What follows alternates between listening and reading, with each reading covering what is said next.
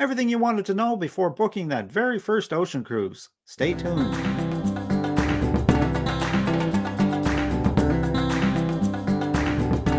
Help us today with first time ocean cruise FAQs is my guest, Tim Hersh of Cruise Holidays of Topeka, located in Topeka, Kansas. Together with his wife Denise, they specialize in ocean and river cruise vacations and have been meeting the needs of satisfied clients in and around Topeka and across the country for quite a number of years. Hi, Tim. Welcome back to RTE Travel Talk. Thank you, Ken, for having me today. It's great to have you back with us, Tim. So, Tim, you've been in this business now for quite a number of years and one of the things that we're starting we, we get a lot and we haven't talked about much here on rte travel talk is questions for people that perhaps haven't cruised before. First they're going to be a first time cruiser and you know they're asking us questions. And quite often because you've cruised a lot and i've cruised a lot it's kind of things that we don't think about anymore but you as a travel mm-hmm. advisor i'm sure you get them all the time so I was hoping today that we could go through a bunch of questions in quick quick succession just to provide a little bit of more information for folks. How does that sound? That'd be great. Uh, I think one of the things that we're, you know, really seeing is people, the industry's uh, kind of driving people back to travel advisors just because of all the questions they have.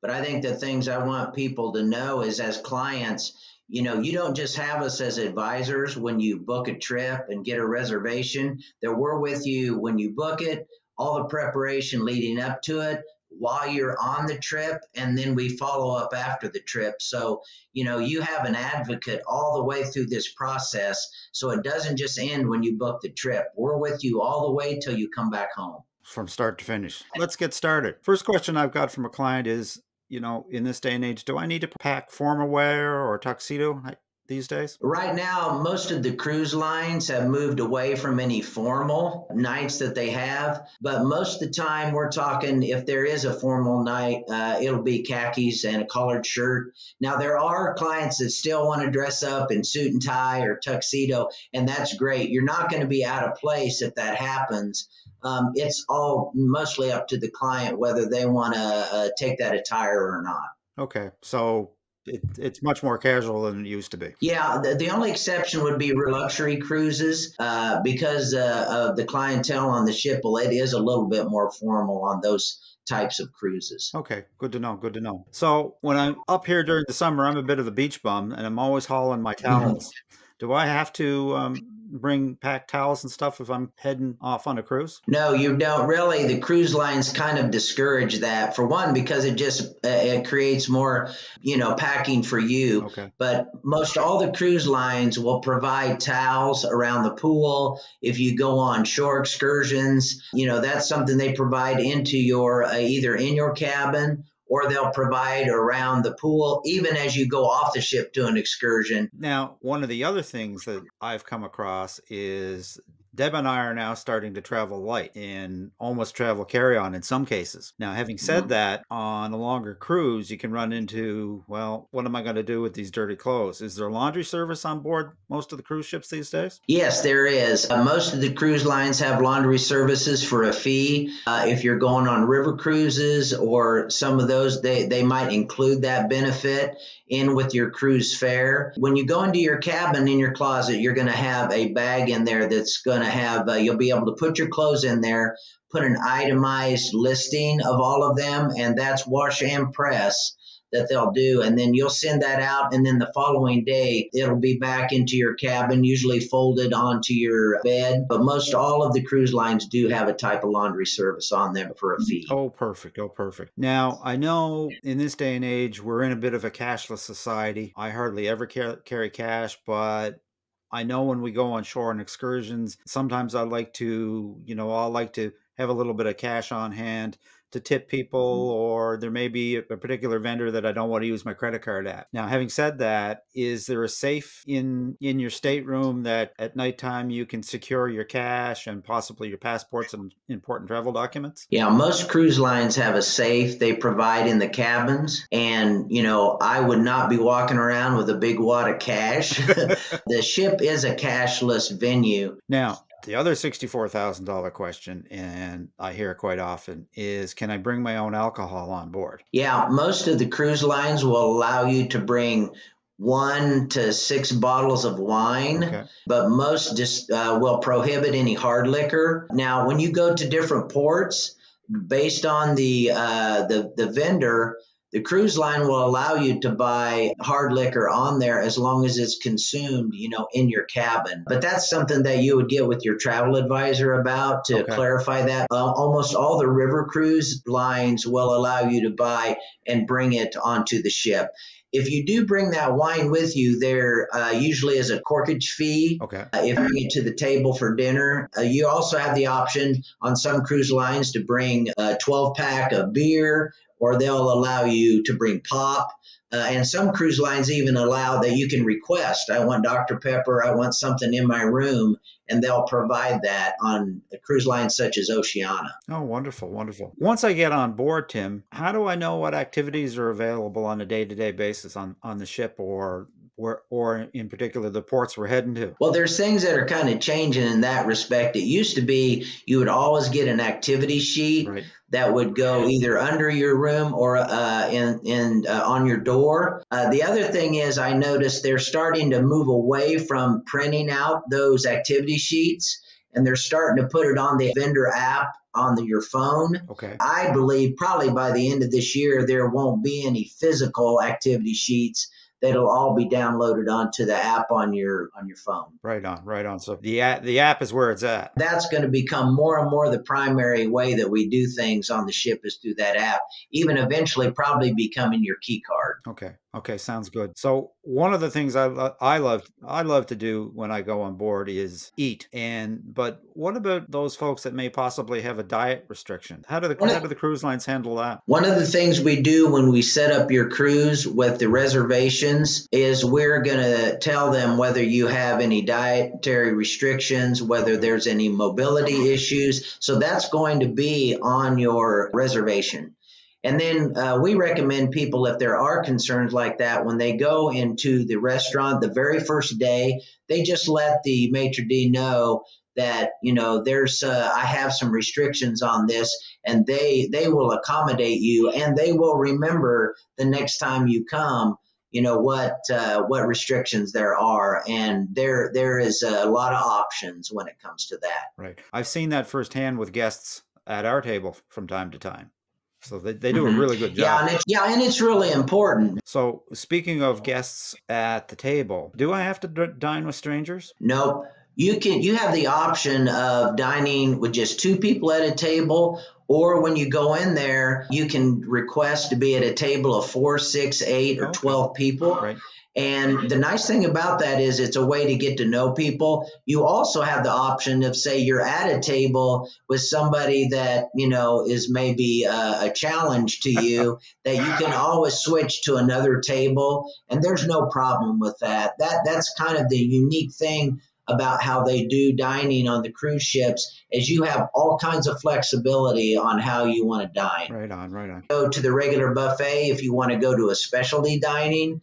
Uh, there's restaurants on there that are for a fee that are just Italian. You know, uh, they have uh, steak houses. They have all different types of food for a fee, and uh, those are kind of they call them specialty restaurants because uh, they're going to specialize in whatever type of food they have. Right on.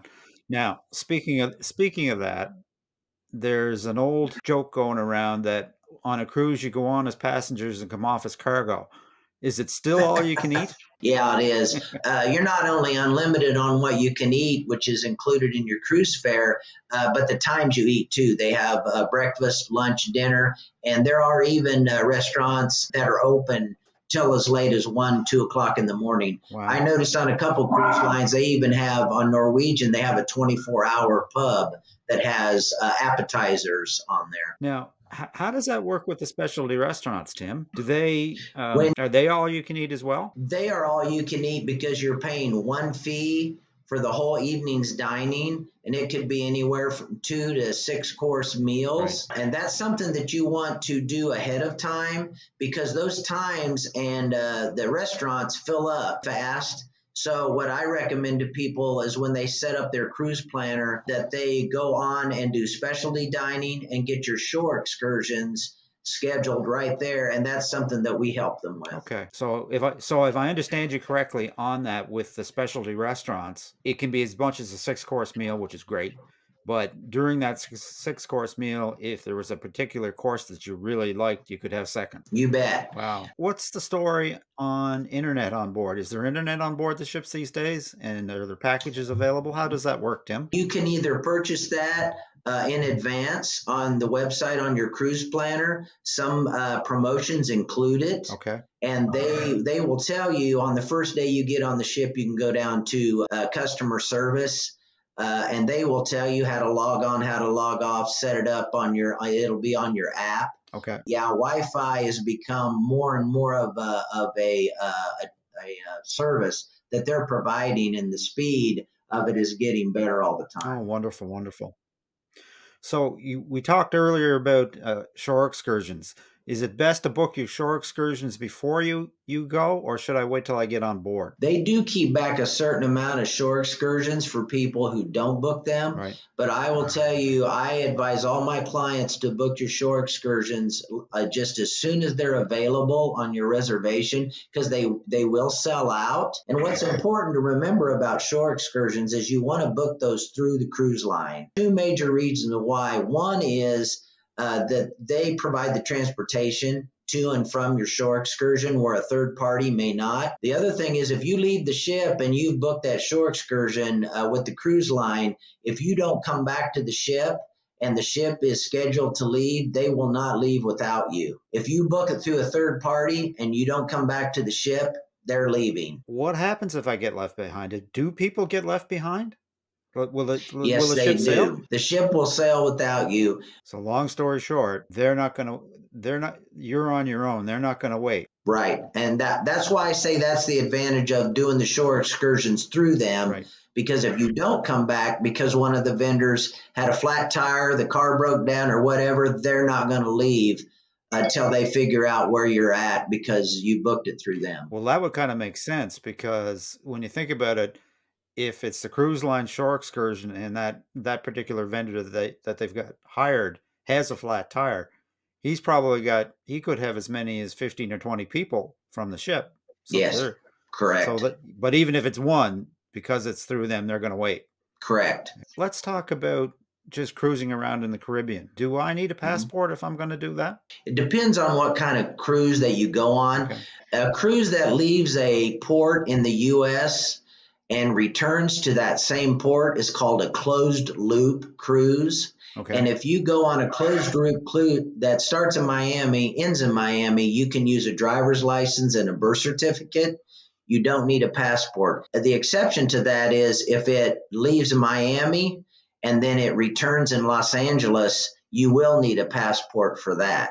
It has to uh, start and end at the same U.S. port for you to be able to use a driver's license and a, and a birth certificate. Okay. We advise all our clients to just use a passport. And the reason is, uh, even if it's not required on a closed loop cruise, if you the ship would be disabled in the Caribbean and you need you have to get off that ship and make your way back to the US on a plane, they're going to require you to have a passport. So it just makes good good good sense if you're traveling by cruise have a passport. Yeah, correct. Okay. The kids, if we want to take the kids, there's no way I'm having them in my room. Mm-hmm. Can you book adjoining rooms? Yeah, you can. Uh, connecting rooms are a real priority with families. Right. And also, one of the things we've started to do to kind of help with costs is a family of four, if they don't want to put everybody in one cabin, which is really tight. Right. Uh, they'll get a balcony cabin, and then we can find them an inside cabin right across the hall. Okay. So they'll put one adult uh, in the in one cabin, one adult in the other one with the with the kids. Now the kids can sleep in that inside, you know, once you get on the ship. But you know, the way you're going to have to uh, do the reservation, there always has to be an adult in there. If you get a adjoining room, that that requirement isn't there. Okay. Let me mention one other thing because this happened to me. If you're a grandparent taking your grandkids, the cruise lines do require a form that you they need permission from the parents and there's a form to fill out for that for those kid grandkids to be able to go with the grandparents. Okay. And, and uh, you know, we can work that out at the cruise port by just faxing that form to the parents and have the parents sign it and fax it straight back to the cruise port but it's uh, a lot less complicated if you take care of those details ahead of time. Yeah, and you you know you don't want to have to have to deal with that in a rush at, at a cruise port if you can avoid it. And speaking of grandma, we're thinking thinking of doing a multi generational cruise, and most elderly parents ha- can have medical issues that they kind of have to deal with on a day to day basis. What is the situation for folks that you know may have elderly guests with them with medications that they have to sort or if they happen mm-hmm. to get sick on board. You never you never want bad things to happen on board, Tim, but if I run into some sort of a problem while I'm on board, who do you go to see to help to get help? All the cruise ships have a full service uh, medical clinic, mm-hmm. which would be similar to a Medassist. So they all have a full medical staff uh, on on the ship to be able to address uh, anything from a heart attack to a broken leg they can deal with any of those uh, emergencies. Okay, okay. Now, normally when Deb and I've cruised in the past, we always made it a point to arrive at the port the day before, just to be on the safe side, because we're coming a long way by air. The very first time we did cruise, we flew in and got on the ship the same day, which was nice. What would happen to him? What happens if I do happen to miss the sailing time, either by my flight's delayed or for some other reason? First thing you're going to do is call me, yeah. and then I'm going to keep you calm down, and then I'm going to we'll, we'll come up with with a strategy of what we're going to do. We just had this happen where we had some people going to Vancouver uh, on Alaska cruise. They got delayed in Chicago, totally missed. So they're connecting flight. So we had to have them stay a night in Chicago.